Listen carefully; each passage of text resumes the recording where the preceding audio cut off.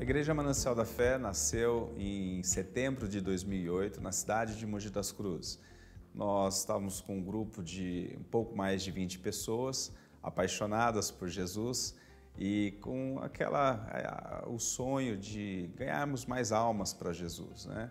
E nesse contexto que nasceu a Manancial da Fé, nós começamos num prédio bem pequeno, alugado, um salão com 100 metros quadrados, e ali nós começamos nosso trabalho e a igreja foi crescendo, Deus foi abençoando. Ingressamos também com um programa na televisão, na, na rede local. E recentemente nós mudamos para um auditório maior, bem no centro também de Mogi. Nós temos hoje, ocupamos um galpão de mil metros quadrados, nós temos um estacionamento para 150 carros. Avançamos muito nas redes sociais, avançamos muito é, no nosso canal do YouTube. Estamos vivendo algo incrível da parte de Deus.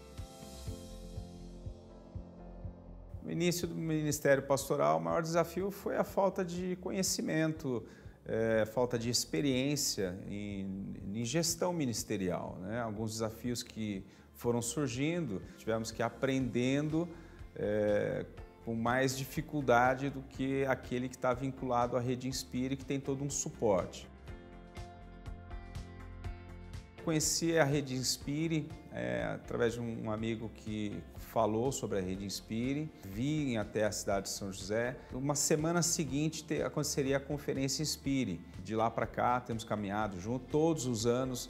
Na conferência nós trazemos a nossa equipe, eles voltam com uma visão mais aberta, voltam inspirados, né? por isso que esse termo em Rede Inspire é para nos inspirarmos. Eu sempre digo que a Rede Inspire é para nós virmos, nos inspirarmos e adaptarmos né, a nossa realidade local. É muito maior, mas eu sempre digo que nós podemos também implantar dentro da nossa realidade. E temos feito isso, graças a Deus, com muito sucesso. A igreja nossa cresceu. Nós, quando entramos na Rede Inspire, nós estávamos é, em torno de 250 membros. Hoje nós estamos com 800 membros aproximadamente. E foi um divisor de águas, foi um divisor de águas.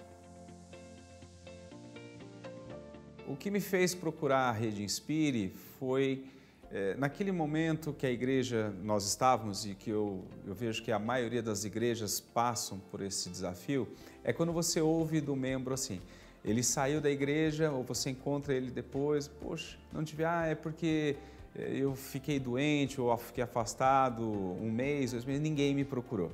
Isso porque a igreja vai crescendo. E aí foi naquele momento que eu parei e comecei a orar e pedindo um, para Deus uma direção, para como que nós iríamos é, crescer de maneira saudável e que pudéssemos pastorear essas pessoas mais de perto.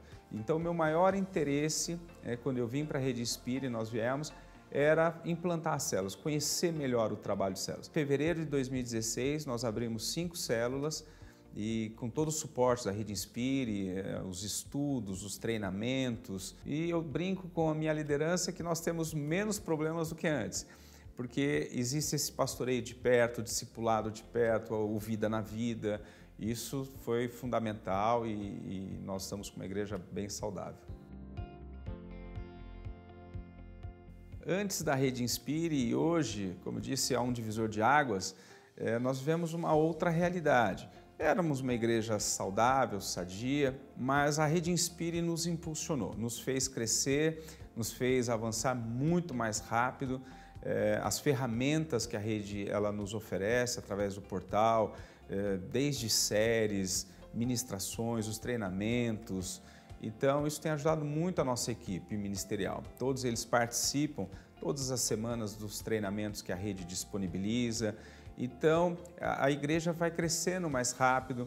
Uma coisa é eu ter uma experiência, um outro vir, implantar. Nós já pegamos algo pronto né, da Rede Inspira. Então, isso impulsiona muito rápido. Tem todo o suporte. É, a Rede Inspira ela nos coloca à disposição é, esse aparato para dar uma, uma, uma, sustentação em todos os ministérios da igreja.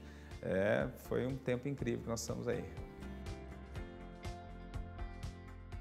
Eu diria hoje para, para um pastor que está começando uma igreja, ele procurar né, sempre, sempre caminhar com pessoas que é, estão à frente dele, para que ele possa é, olhar e adquirir experiência. Eu diria também, né, muito amor a, a, Deus, amor às pessoas, né, servir a Deus, servir o reino, servir a noiva, e acho que esse é o fundamental. E ter uma vida inspirada em Deus e inspirar pessoas, né, abençoados para abençoar. Eu sou apaixonado pela Igreja Manancial da Fé, mas eu acho que é essa questão da igreja família. Esse conceito é, nós temos, já tínhamos, hoje muito mais forte. A pessoa, quando ela entra numa igreja família, ela é acolhida de maneira diferente. Ela não frequenta uma instituição religiosa, ela frequenta uma família.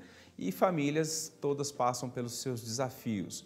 E o que nos faz ficar mais fortes, mais unidos, é uma família que caminha junto, compreende as dificuldades, ela se ajuda mutualmente e a família é a maior instituição de Deus, a família é a igreja e elas têm que caminhar muito junto mesmo nesse conceito, família e igreja. E a igreja a família é o plano perfeito de Deus. Eu me chamo Márcio, sou casado com a Flávia, é, nesse ano de 2022 nós iremos completar 25 anos de casado. Nós temos dois filhos, o Felipe e o Mateus. Todos estamos todos na igreja, amando a Deus, servindo a Deus no reino. E sou de Mogi das Cruzes, sou mogiano. Estamos trabalhando muito para mudarmos a realidade de Mogi, da nossa região e aonde Deus nos levar.